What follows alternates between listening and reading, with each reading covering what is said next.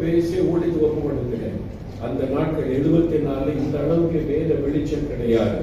ஒரு தாயார் சொன்னாங்க என்ன தம்பி வேலையெல்லாம் விட்டுட்ட? ஊழியத்துக்கு ஆண்டு கூப்பிட்டதான்னு சொல்ற. ஒரு இடத்துக்கு ஜெபிக்கு கூட்டு போறேன்னு சொல்லி ராயப்பேட்டையில் அப்போ மிஸ்ஸஸ் எட்வர்ட்ஸ் ஒரு அம்மா இருந்தாங்க. நான் அவங்கள முன்னால பார்த்ததே இல்லை. ஒரு தாயார் என்னை கூட்டிட்டு போனாங்க. அவங்க போய் ஜெபிக்கலாம் அப்படின்னு சொல்லி. நான் போன போது அவங்க அந்த தாயார் வந்தாங்க. வாயில தான் உட்கார்ந்து வயசானவங்க உட்கார்ந்து தம்பி பேர் என்னப்பா? அப்படின்னு கேட்டாங்க. என் பேரை சொன்னேன். கவனமா அவ்வளவுதான். வேற ஒண்ணுமே கேட்கல. கண்ணை மூடி ஜெபிச்சாங்க. ஆவியானவர் இறங்கினா சத்தனோட அமைதி அன்னை பாசை பேசி பேசி தீர்க்க தரிசனமா? எனக்கு ரொம்ப அதிர்ச்சி. நான் ஃபர்ஸ்ட் டைம் அப்படி தீர்க்க தரிசனத்தை கேட்கிறேன் பார்க்கிறேன். இந்த மாதிரி வாழ்க்கையில உள்ளதெல்லாம் சொல்றாங்க.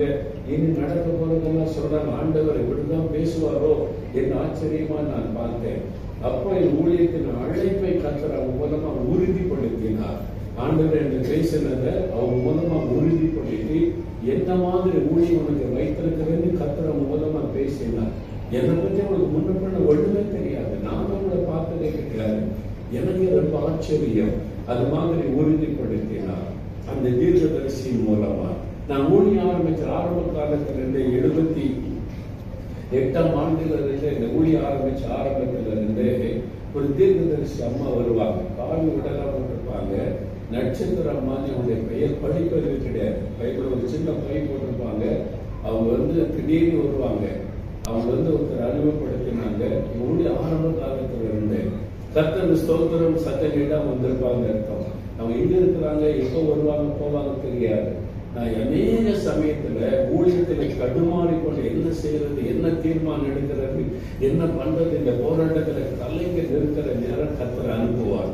அவங்க திடீர்னு கத்தருக்கு ஸ்தோத்திரம். ஆண்டவர் வர சொன்னார் வந்தேன்பாங்க உட்கார மாட்டாங்க சாப்பிட மாட்டாங்க பாய் போடுங்க. ஜோமன் அவளுக்கு நான் என் மனைவி வீட்டுல இருந்தா முடலாம் போடுவோம் ஜெபிச்ச உடனே ஆவியானவர் இறங்குவார். என்னென்ன பிரச்சனையோ அவங்க ஒண்ணு கேட்க மாட்டாங்க ஒண்ணு பேச மாட்டாங்க.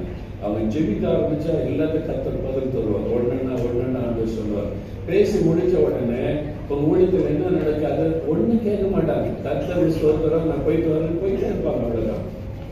அவனுக்கு ஒரே ஒரு மாற்று ட்ரெஸ் வச்சிருப்பாங்க. காணிக்கு கொடுத்தா யாருக்காவது கொடுத்துருவாங்க. தனக்குன்னு ஒண்ணு வைத்துக் கொள்ள மாட்டாங்க. ஏதோ சாப்பிடுங்க இல்ல கத்தர் சாப்பிட சொல்லல போயிட்டே இருந்தேன் அப்படி போவாங்க. அவங்கள எம்மான தேடுனா எங்க இருந்தாலும் தெரியாது. கத்தர் எங்கே கொண்டு போயிருப்பாரு? அங்க இருப்பாங்க. கத்தரை சொன்னாதான் வருவாங்க. அப்படி பல முறை ஊழியத்துல நடந்திருக்குது.